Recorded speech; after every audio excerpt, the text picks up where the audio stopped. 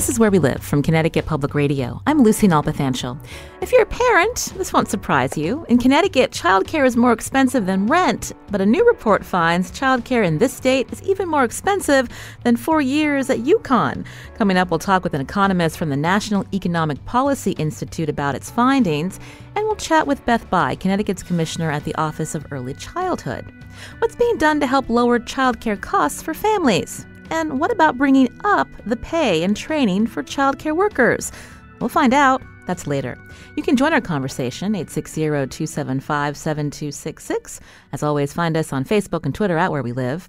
First, we check in on an employee wellness program that has pitted unionized Yale workers against the university. For more on this story, joining us in studio is Nicole Leonard. She's a healthcare reporter for Connecticut Public Radio. Nicole, welcome back to the show. Thanks. Good morning. So, wellness program. Tell us, uh, you know, what what do we mean by that? Yeah, wellness program is a pretty general term because they all look different. A lot of them look different uh, depending on where you work or what size employer you have. Um, but pretty much at their core, they're designed to help employees or give employees opportunities to better their health or to manage things that are going on in their health, maybe an illness, or um, get them to go to those doctors and go get those preventative screenings that are recommended for different age groups, like mammograms and colorectal screenings, stuff like that. So, um, you know, really at their core, they're trying to help employees get healthier. When we hear this uh, idea, we think, oh, is this the employer really caring about the health of their employee, or is it about cost? What do we know, Nicole? You know, from studies and from doctors who will talk about, uh, you know, who have researched into this area, it's kind of a bit of both. Um, you know, when we talk about maybe the more altruistic motives of helping people get healthier, they really, um, you know, are not only trying to better physical health, but mental health. They're trying to maybe improve morale or the environment which workers live in. So it can, you know, create some friendly competitiveness and activities and stuff like that that everybody can do together. On the other hand, it is uh, proven that um, companies do this because they hope that it'll save them cost saving. They, it'll turn into cost savings in the long run. So, um, you know, the healthier their employees are, the less they're spending on healthcare for their employees. And um, there are many research uh, researchers who've looked into this, and healthcare spending is one of the biggest things that an employer will pay out for. Um, not even in terms of operations of what they do, but healthcare spending for their employees that is at an all-time high. So they really are trying to, you know, save themselves some money and maybe, um, you know, get some insurance discounts and stuff like that. Mm-hmm. When we think about employer-sponsored wellness programs, is this something that is a relatively new phenomenon? It's not brand new. You know, it actually goes back. Uh, I had a doctor who um, who's telling me it goes back really to the 1990s. Um, some wellness programs were cropping up, although it probably weren't in the format that they are that you see today. Um, and then they, you know, gradually more and more companies were joining in the early 2000s, and then really in the last decade we've seen a big boom of wellness programs, more so at large employers because um, you do have to put some money out to implement these programs, and a lot of large employers, I think it's about 50% or more, have wellness programs, and and it's it's become extremely popular now. But they're not new, um, but they are picking up speed. I understand Kaiser Health News reported that it was the Affordable Care Act that uh, allowed employers to offer financial incentives up to 30% of the cost of health insurance uh, with these wellness programs. And that might be another reason why we've seen uh, these numbers grow in the last few years.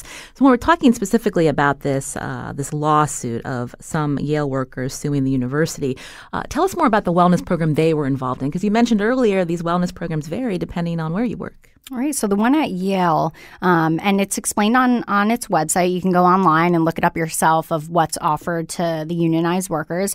Um, what it does is it uh, if you participate in the program, you have to um, complete a set of uh, medical and health tests. So a lot of these are preventative screenings, like mammograms and maybe a colonoscopy and a vaccine, depending on how many how you know old you are.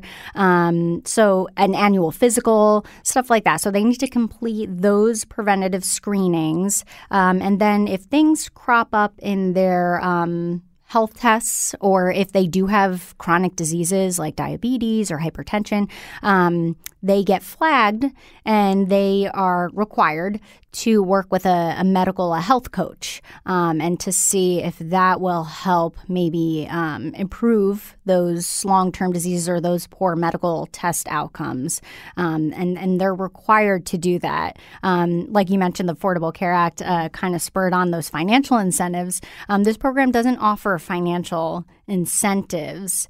Um, what it does offer, though, is if you do all, if you participate and you meet all these requirements throughout the year, you don't get $25 taken out of your paycheck. Now, if you don't participate, you get $25 taken out of your paycheck every week until you participate or until you complete the program requirements. And so that can be a hit on someone's paycheck. Tell us about the workers in this union. What are the jobs that um, you know they're doing? A lot of these unionized um, workers, they uh, the unions they're in this specific suit. It's two unions that are uh, being represented, and they they make up about 5,000 employees that are um, service workers, uh, maintenance, cafeteria workers. So um, they're doing a lot of physical labor, um, managerial labor. So um, so yeah, so they they and their spouses are beholden to these requirements if they participate or if they get their health insurance coverage through the Yale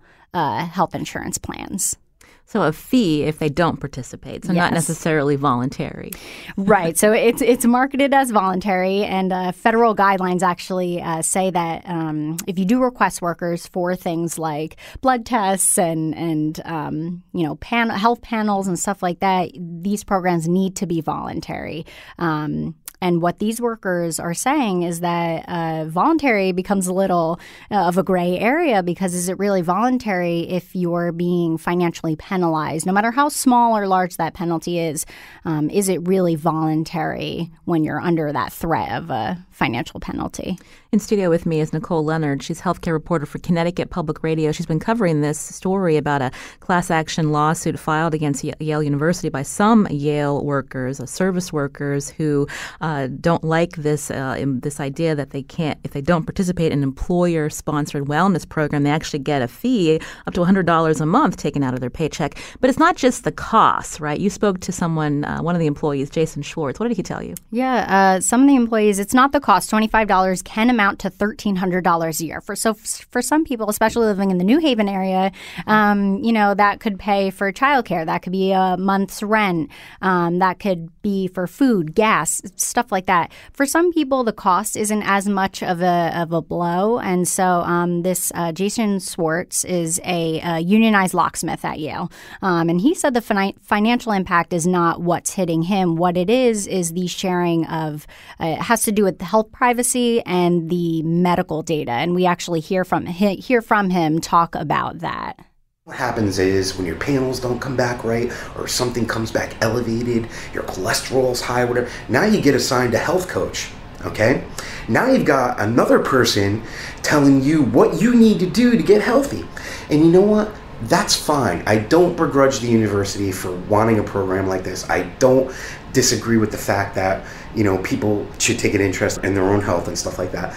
But the bottom line is it's very invasive to have someone else other than you and your doctor involved in whatever medical problem you're experiencing. It's traumatic enough, right? It's really interesting, uh, his point. I'm curious, you know, with the uh, privacy of health information, you know, how does something like this jive with federal regulations involving HIPAA, for, for instance?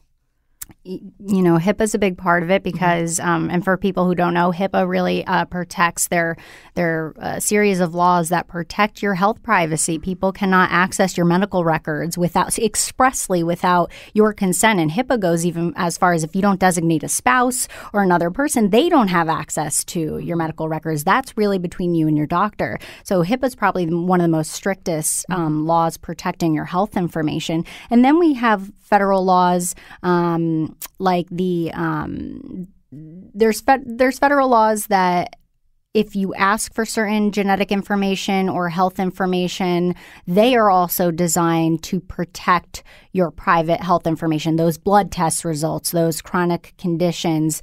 Um, and they really, there's a very small uh, window where someone like an employer or a third party company can ask for that information. And uh, the exception to the rule is that they can ask for it under employee wellness programs uh, that are voluntary. Interesting. You spoke to one of the attorneys involved in this class action lawsuit. Who was she? Uh, yeah, Dara Smith is a senior attorney at the AARP Foundation, and they actually have a long history with uh, workplace wellness programs. Um, they sued um, the uh, they sued uh, one of the bodies that um, make sure the wellness programs are being implemented correctly. They create guidelines, and uh, they sued them because a couple years ago they said that it was okay for employers to um, to institute financial penalties for people who don't participate in wellness programs. And the ARP Foundation uh, fought against that. And so Dara Smith was was part of those efforts, um, and she's been looking out for cases like the one going on at Yale for for several years. Um, and I talked to her, and this is actually what she had to say about um, these types of fines and the requirements in workplace wellness programs the civil rights laws, the ADA and the Genetic Information Non Discrimination Act, or GINA, um, say that programs like this have to be voluntary. And our argument is that if you are fined for not participating, that's not voluntary. You have a right to keep that information to yourself. What's also interesting about um, your reporting, Nicole, is that this doesn't just this applies to a specific uh, type of employee at Yale. Yale University employs a lot of people in the New Haven area. There's even some instances where this idea of an employer sponsored wellness program, uh, some unions actually negotiated this out of their uh, their workers' contracts. Can you tell us about that? Right, that happened at Yale. So these two unions they represent a certain amount of employees that do a certain amount of things, um, and Yale used some. Uh, there's other labor unions that work at Yale, and one of them is the police union. Um, they were going over some tough contract negotiations for the last several years, trying to come up with a long term contract contract. Um, and they came to a tentative agreement recently. And one of the things that the uh, union representatives were fighting against is a wellness program that had financial fines. They mm. did not want this type of wellness program for their union police officers. And they did actually negotiate the wellness fine out. So uh, they, uh, the members of that union, are allowed to participate in this wellness program. But if they don't want to participate or they fall out of compliance, meaning they may not complete a test or something like that, uh, they don't get fined. Um, but they do pay a little bit more and they do contribute a little bit more to their premiums. Um, that was the trade off. So they don't have to participate, but they need to pay a little bit more toward their premiums. Where the unions we're talking about who are suing Yale, they are pretty generously covered by the university's wellness plans, almost to 100% on, on premiums and copays. So there is kind of that that trade off. Mm. Do we know why the Unite Here unions agreed to this, while the Yale uh, Police Department union uh, said no way? that's that's what a lot of union workers are, are trying to find the answers to. They uh, um, they're pretty upset uh, that this is what was agreed to, uh, and and you know sometimes people say, well, you know, you might have been open to a town hall before, or you might have um, been seeing what they were negotiating, and sometimes the reality is you don't know how it's going to impact you until you go through it, and I think that's the situation now where they're finally realizing um, this was put into their contract, and this is how it's affecting them. Something you said earlier, but before we head to break, that I wanted to circle back on is that uh, because these uh, wellness programs have grown in popularity, uh, there are there have been studies that show that, that getting that um, the the positive health benefit uh, down the road, possibly lowering costs for physicians, that's not a guarantee or has even been shown in studies. No, it's it's it's an interesting interesting thing because wellness programs have grown into an eight billion dollar industry. Um, that's how much they've grown in popularity. Meanwhile, uh, the studies that have looked at them, seeing you know what are the benefits to these um, from both a health and an economic perspective. The studies uh, most recently, actually, one that came out in April. Um, that looked at a large that did a large scale clinical trial. Um, they were trying to see if this really lowered health, you know, clinical health risks or uh, lowered the costs on healthcare, and they didn't find that. Um, they might they they they did find that uh, wellness programs they do impact behavioral health. So more people who are doing the wellness programs were engaging in exercise or weight management. So that's great. Um, but they didn't find any evidence that the wellness program participants uh, their their clinical health issues were changing any because of the wellness program, and it didn't show that um, there were significant cost savings in in health costs. So that's sort of the problem now is that do we need more research? Do we need mm-hmm. more long term research to see if these programs are actually beneficial in those areas? This is Where We Live from Connecticut Public Radio. I'm Lucy Nalpathanchel. Nicole Leonard is with me. She's healthcare reporter for Connecticut Public Radio. After the break, we talk with an employment attorney about the prevalence of these employer sponsored wellness programs. And you can join us too, 860 275 7266, or find us on Facebook and Twitter at Where We Live.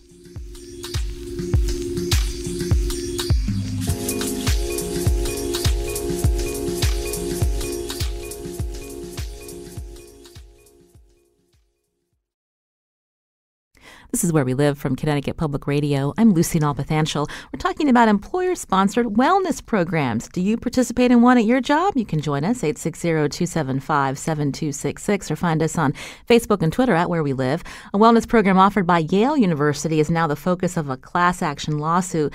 Uh, some workers claiming the program violates federal health, privacy, and discrimination laws. Nicole Leonard is with us. She's healthcare reporter for Connecticut Public Radio who's been covering this story.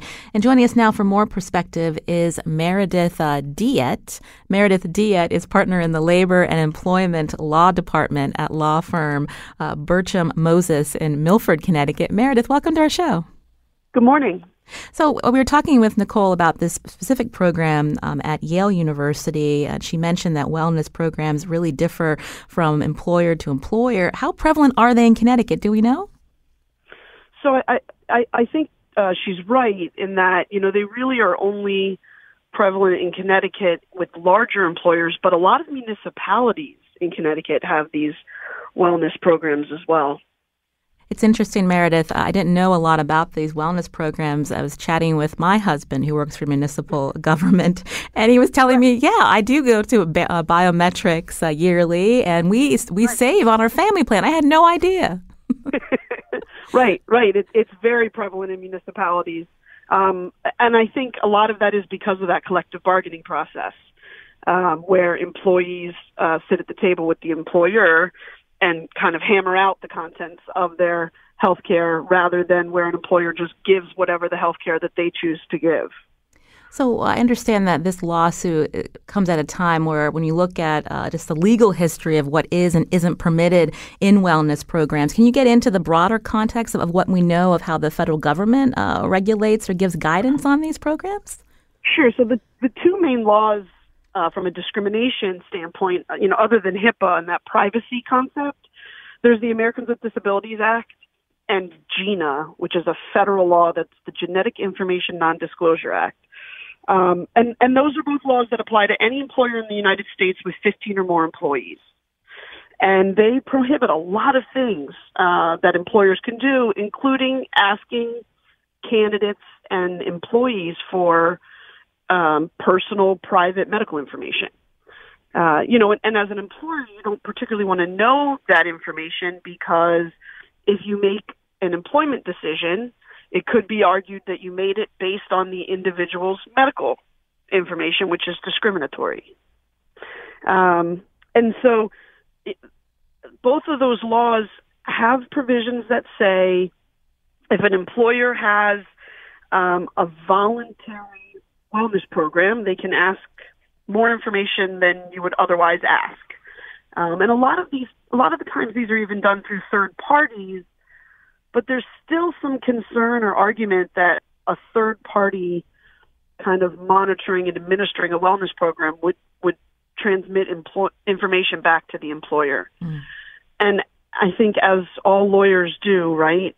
We have to pick a word that could mean a million different things and there's litigation over what the word voluntary means. and when is voluntary really voluntary. Mm. This idea of the, um, you know, the, the these particular service workers at Yale, if they don't participate, um, getting hit with a twenty-five dollar a week uh, right. uh, fee, uh, so to speak. Uh, certainly, depending on the job, that does take a, a hit on someone's paycheck, and of course, they're going to have right. To say yes, right? right. Well, so and so uh, in 2016, the EEOC, which is the Equal Employment Opportunity Commission, and that's kind of the federal agency that is tasked with providing regulations to employers and individuals in the United States on how to navigate these discrimination laws like the ADA and GINA. And they issued what they do. They issued regulations, final regulations. And in those regulations about, in particular, these wellness programs, they basically said, look, um, these programs will be quote unquote, you know, voluntary as long as the incentive or disincentive fine is 30% or less than the cost of an individual of the individual insurance. Um, and so that was kind of the regulation that all these employers were starting to build their wellness programs on. And it was to take effect in um, January in, in 2017, the beginning of 2017. And there was another there was a lawsuit about that regulation uh, I think it was in in the District of Columbia, in the federal court in the District of Columbia, and the court uh, ruled against uh, the EEOC. They ruled in favor of um, AARP, you know, the Association of Retired Persons. They're the ones who brought that lawsuit. And as a result of that lawsuit, the regulations didn't go into effect. And the EEOC was supposed to kind of go back to the drawing board and reissue regulations. And it seems like the, at the time, it's funny that um, we talk about this now because I'm preparing to do a seminar on all the changes that are taking effect in 2019 in Connecticut and federally in employment law. It was a really busy year. Um, but it seems like the court's real problem with those regulations is that that 30% seems arbitrary. Where'd you come up with that number? So then as of January of this year, which is why it's relevant to this year, the EEOC says, yeah, we still haven't come up with new regulations. um, they were supposed to do it by June of this year, and as we're on this phone call today, that still hasn't happened. And so there are no regulations, and we go back to the world of not knowing what voluntary is with regard to these laws. Mm. That's a lot of uncertainty for employers. Right? right? Yeah, so a lot of employers, as I said, had started developing these wellness programs. So now what is an employer to do? Do they just stick with it? Because the court didn't say that's not voluntary. They just said, we need to figure out what voluntary is. Or do they go 10% of the cost? You know, something under 30? Or do they say no fine at all? You know, it, it's a really hard question to answer for employers and and expensive as you guys were talking about before. Uh, Meredith, uh, you know, you are obviously an attorney who represents employers. You know, what are some of your concerns about wellness programs? So my concerns are are not so much the voluntary aspect. I mean, that has to that's going to be decided, and employers will have to make their policies compliant, right? My concern always as an employment attorney representing employers is I really want my clients to know as little medical information about their employees as possible because any decision that an employer makes let's uh, you know the most obvious decision is to terminate right mm-hmm. if i have knowledge as an employer of your medical information which might be a disability um, and I decide to terminate you, there is at least an argument that I'm going to have to potentially defend that I made that decision because of your disability. I wouldn't have otherwise terminated you if I didn't if you didn't have cancer. Mm. Right? And it's very hard for an employer to prove that they didn't have knowledge of the medical information um,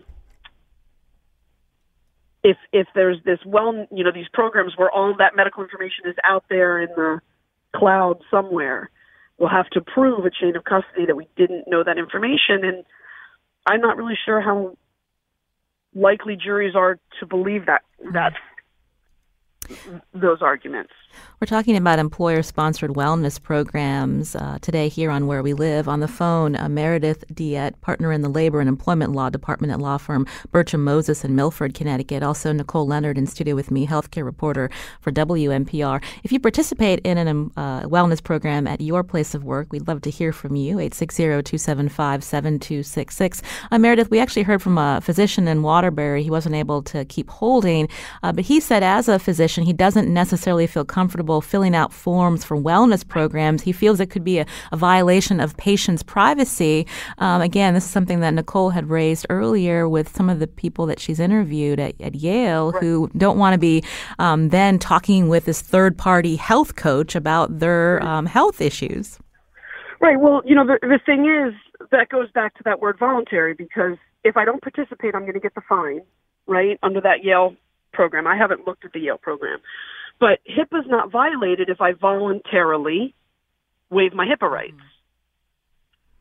So as typically as part of participating in these programs, you're signing a waiver that your health information can be shared.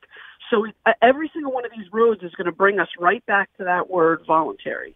And at what point is it really voluntary, or as Nicole said, um, you're you're kind of beholden to it. You're coerced and I, I agree with you. There is an argument that $25 a week adds up and is a lot of money. Um, I, I, I just don't know what that threshold is. At what point is it not a lot of money? Um, some companies don't have a fine if you don't participate. Instead, they give you an incentive. Um, but I think there's an argument there too. At what point am I able to walk away from that incentive? Right? Uh, you can join our conversation 860-275-7266 or find us on Facebook and uh, Twitter uh, at Where We Live. Um, so looking specifically at this uh, Yale class action lawsuit, I mean, how do you think it'll impact, you know, broadly the question of the legality of how they're incentivized, which you just discussed? So the lawsuit in Yale, first of all, because it's a class action, that's pretty significant. Um, you know, the EEOC will pay attention because it's a class action. Um, now, it's very, I, from what I understand, it's in the very early stages. Just because they filed it as a class action doesn't mean it will get class action status, and and that in and of itself is kind of uh, a hurdle to get over. Um, it, you know, the EEOC, just like any other government organization, is very busy, and they have a lot of things they have to do, and they were supposed to, as I explained, um, issue new updated regulations with regard to this question in June.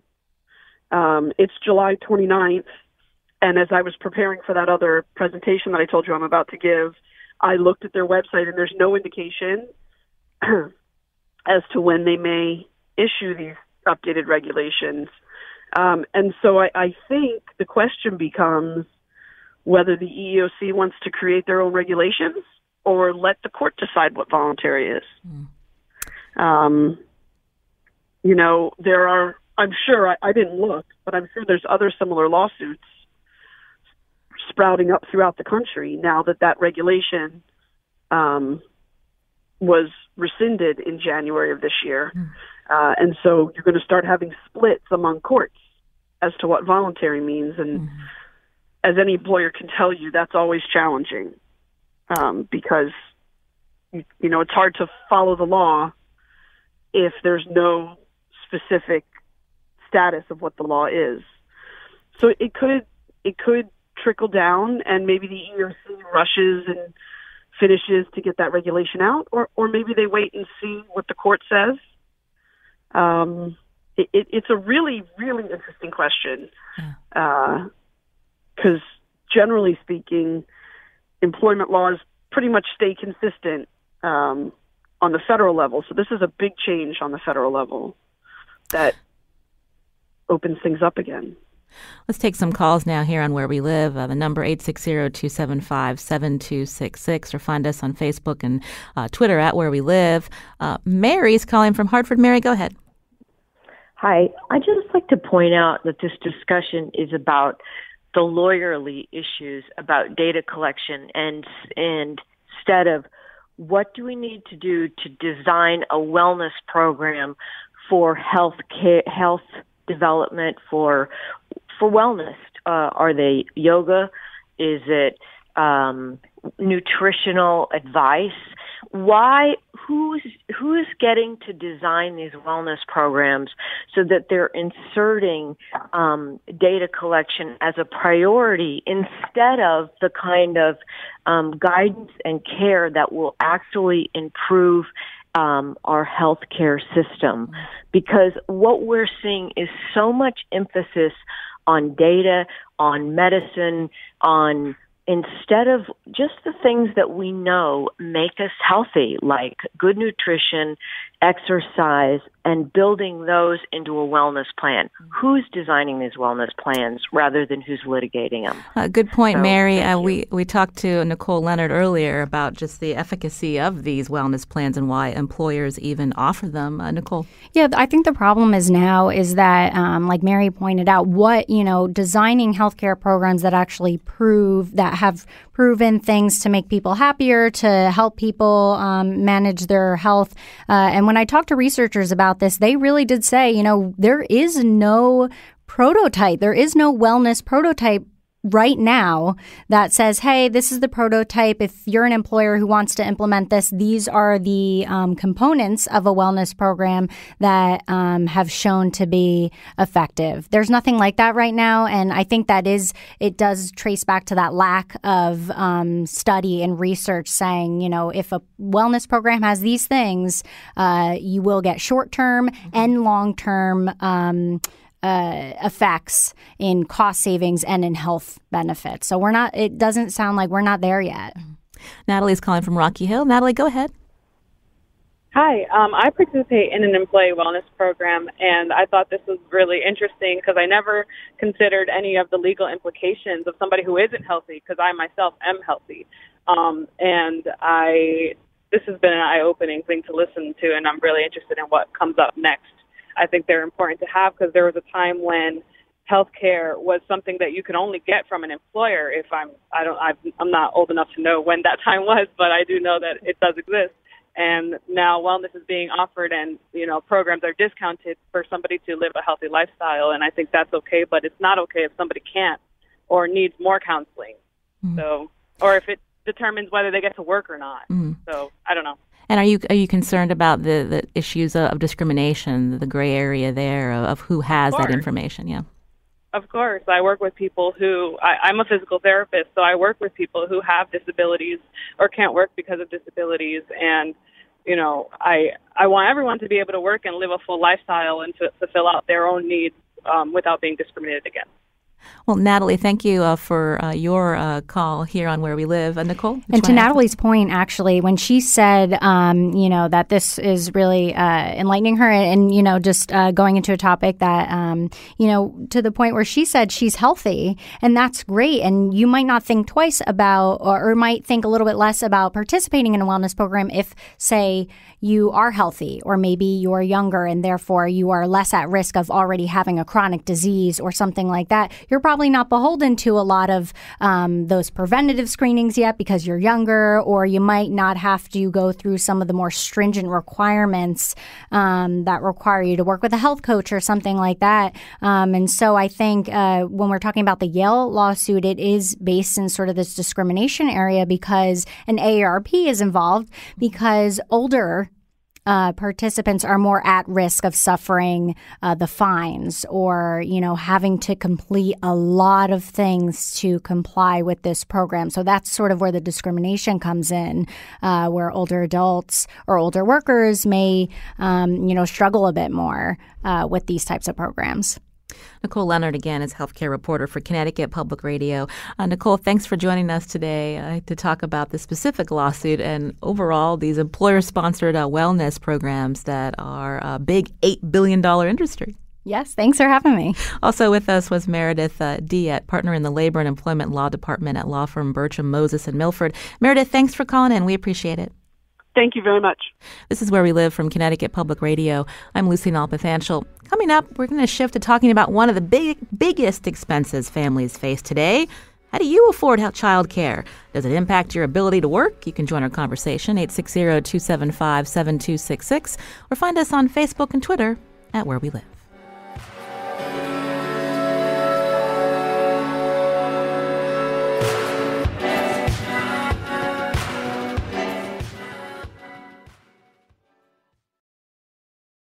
This is Where We Live from Connecticut Public Radio. I'm Lucy Nalpathanchel. Coming up tomorrow, for some Americans, the path to adoption can be winding and difficult.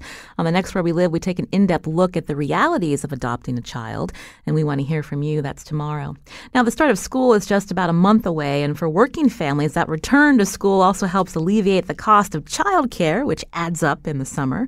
Now, how do you manage care for your child or children so you can work? You can join us, 860 275 7266, or find find us on Facebook and Twitter at Where We Live. Childcare is one of the biggest expenses for families. A new report looks at just how much it costs across the country. Elise Gould is joining us. She's senior economist at the Economic Policy Institute, or EPI. This is a nonpartisan nonprofit think tank in Washington, D.C. Elise, welcome to the show. Thank you so much. So tell us, um, we're here in Connecticut. We know there's a lot here that's expensive, but how does childcare look specifically in our state and nationwide? Well, childcare is expensive across the country. In Connecticut, um, it is particularly more expensive. It ranks about fifth out of 50 states and D.C. for the most expensive infant care in the country. So a lot of families are struggling across the country and particularly in Connecticut. Well, what do we know about, you know, oftentimes we think about affordability, you know, how much someone should pay for their mortgage or rent, uh, the cost of housing. But when we look at a family's, uh, you know, their savings and how much they bring in each month, you know, how much of that should be allotted for child care and how much is actually the reality? Well, the United States Health and Human Services Department um, recommends that child care should cost no more than 7% of a family's income. So then you think about the income you have left over for things, as you said, like housing and, and, um, and health care and food, all the other things, transportation, right, car payments, everything else that they need. But unfortunately, many people in Connecticut simply cannot meet that standard. So if you look at a median family with young children, those families that are most likely to need that care, that expensive care, um, their median income is about $85,000 a year. Those families with young children, that's median income. So the middle family, basically, the typical family in Connecticut. And so therefore they would have to spend nearly one fifth that's much higher than the 7% recommended standard, one fifth of their income every year on child care. And so, what are the repercussions? Are we seeing that forces, you know, one parent to delay going back to work or not working at all? Yes, absolutely. I mean, there are repercussions um, on two different levels. One is, well, you have to work, right? Because we know that um, in general, we've seen that two parents have to work to be able to make ends meet, to pay for all the other expenses. As I said, like housing and transportation and healthcare and food, all those other things that they need to pay. Maybe even debt service. Maybe we know there's a lot of college debt out there, right? So families are struggling to pay for all of those things they need to have two incomes to do that, and therefore they need child care. And then some families who simply can't afford that child care, they force one parent, often the mother, to stay home, and then they're out of the labor force, and that uh, weakens their labor force position once the kids do go on to school. Mm. In studio uh, with me is Beth Bye. She's commissioner for the Connecticut Office of Early Childhood. Uh, Beth, welcome to the show. Thanks so much, Lucy. Uh, we wanted to hear from you because we know that there are child care programs, uh, subsidies that help uh, particular families who are below a certain income level. And we're just wondering, you know, what is the state of, of child care in Connecticut today? Are there enough uh, spaces for families? Well, thanks for that question. I think child care is very expensive. It's really hard on families, and that has an impact on children. And it affects all families in Connecticut. Uh, we know that um, four out of five families in Connecticut cannot afford the cost of infant care. Um, and we have a supply problem as well. So, in a natural economy, that would drive up the costs even more. Um, but there's this cap that you almost just talked about mm-hmm. Um, with with the expert. I can't remember her first name. Elise. Elise. Um, so that um, parents can only pay so much to have it be worth them being in the labor force. So in Connecticut, we are short 51,000 infant toddler spaces for parents who need to be at work. And in Connecticut, 71% of families um, have all parents in the workforce. So we have a, a real challenge that is uh, impacts child safety, but also really impacts our workforce because when parents don't have reliable child care, uh, they're not reliable employees. And um, this is a time when states are competing to attract and keep the best workforce, and it's been a big focus of Governor Lamont. And so, childcare is something we're focused on and trying to improve access to in Connecticut. In recent years, uh, Beth, uh, there has been attention on, I think it's called Care for Kids, uh, and the uh, amount of families that are able to participate because of, of state uh, funding issues. Uh, that threshold has been lowered even more. And so, how many more families are we talking about that may not have another option because of this change? Yes, many, many families uh, do not have options. Um, since January, we've been working hard to increase access to child care for those families that qualify. Uh, qualify for Care for Kids if you make less than 50% of the state median income. You get some support for child care. So that's about $44,000 for a family of four.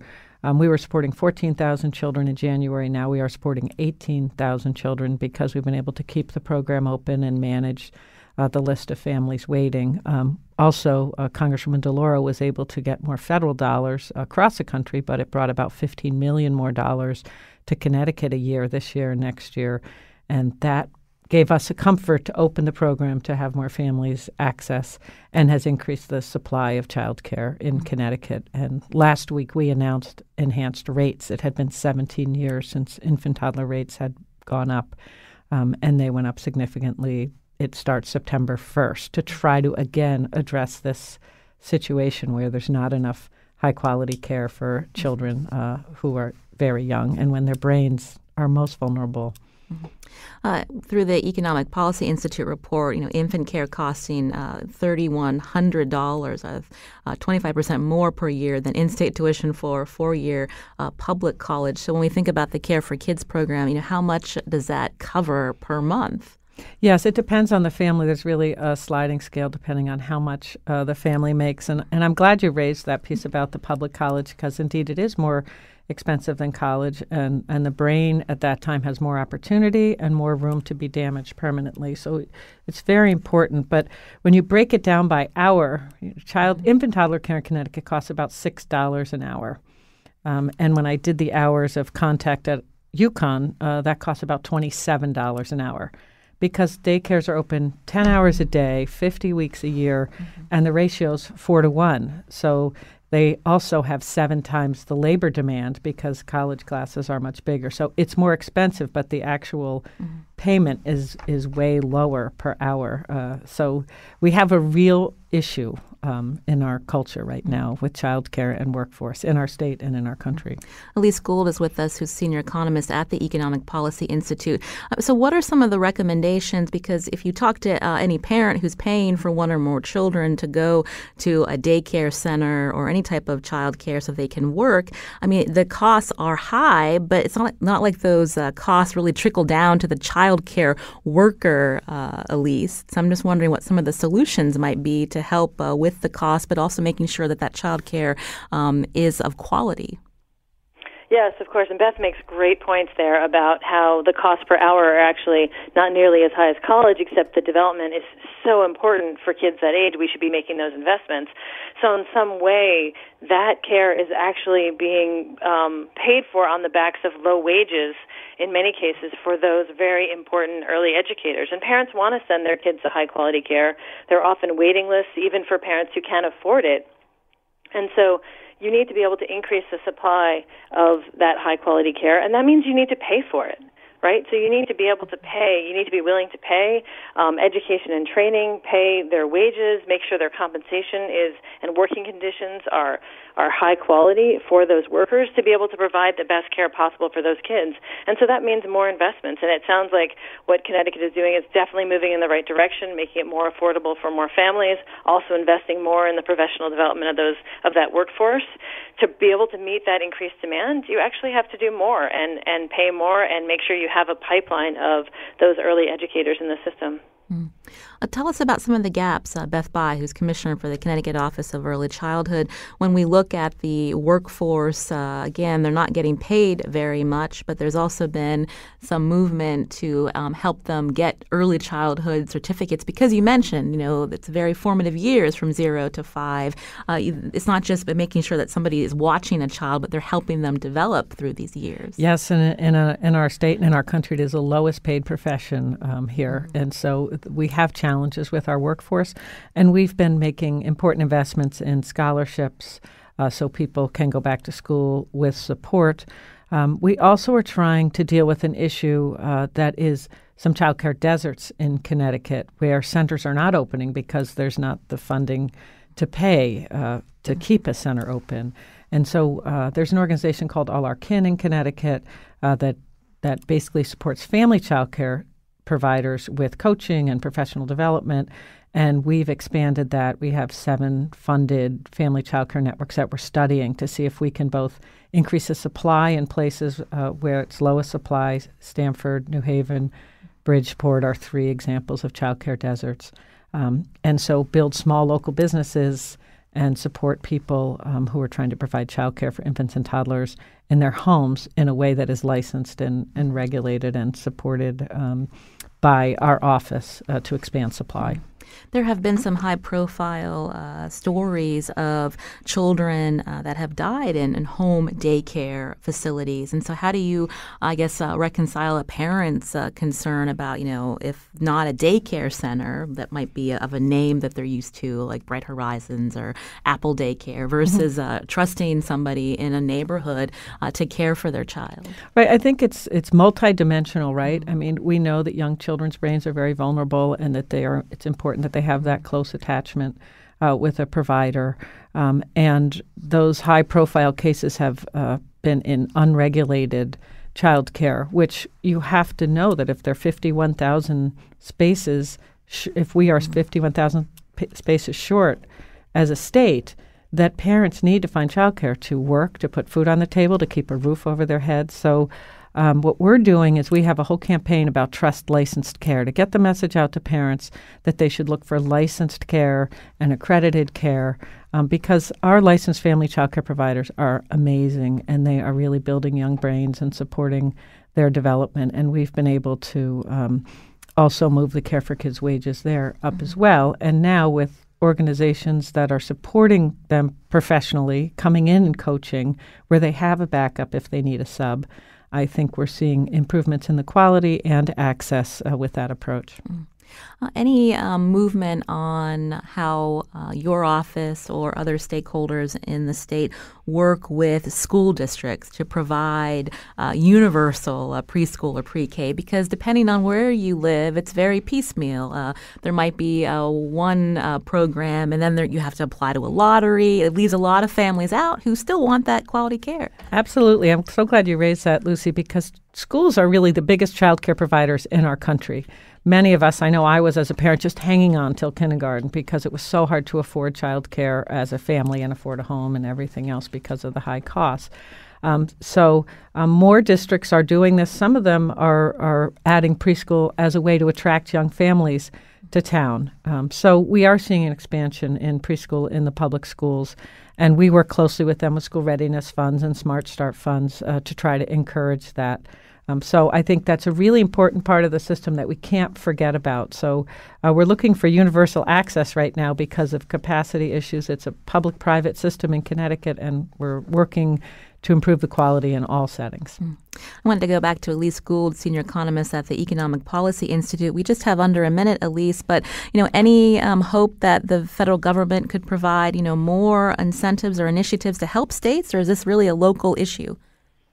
Oh, definitely. I mean, I think at this point the states have to act um, in in lieu of larger scale reform, but you do see some measures being introduced at the national level to both make sure that you deal with the affordability issue and the quality issue as well. So that is making sure that parents can afford and have high quality options for their kids and make sure that those high quality options are there means you have to pay for it. And so making sure that you have enough money in the system to be able to pay those teachers well and not only you know pay them well and make sure they're in their classroom, make sure they have Yeah. the time for professional development and uh, non-contact time, so And they we'll, can. and we'll have to their leave it. We'll have to leave it there. Elise Gould, thank you for joining us. Also, Beth Bye, Commissioner for the Thanks Connecticut much. Office of Early Childhood. This is where we live.